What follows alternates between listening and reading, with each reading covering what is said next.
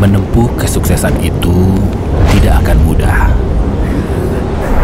Selalu saja ada kejutan. Halo?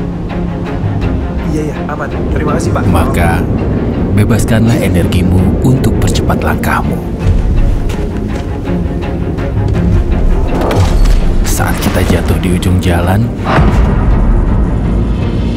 kita masih bisa tersenyum.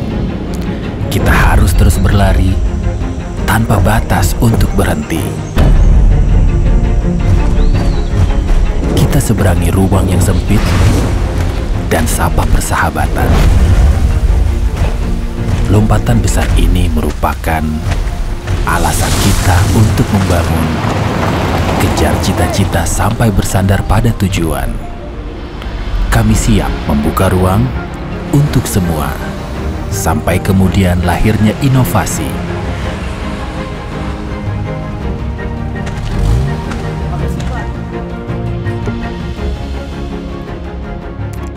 Guys, saya ada berita baik nih.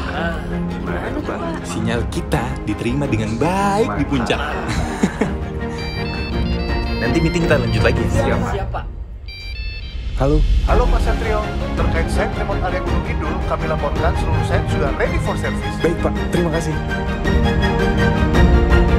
Telkomsat, space for everyone.